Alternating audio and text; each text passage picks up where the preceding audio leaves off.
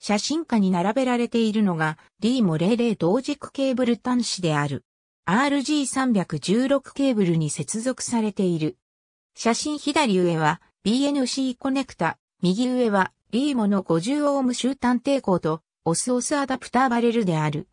リーモとはスイス駅ブランに本社を置く電子コネクタ、光ファイバーコネクタの製造業者である。また、同社が製造するプッシュプルコネクタの通称として広く用いられている。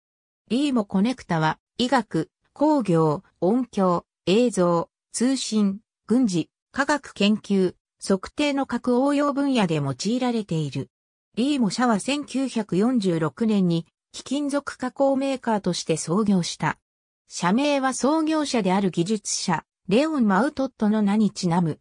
リーモコネクタは複数の規格で標準コネクタとされている。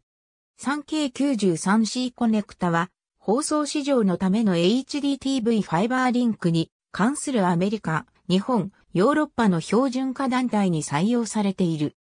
小型プッシュプル式50オーム同軸コネクタであるリーモ00は、原子核、素粒子物理学の装置における NIM規格や CAMAC規格のようなモジュール式エレクトロニクスの標準規格において前面パネルの端子として使用されている。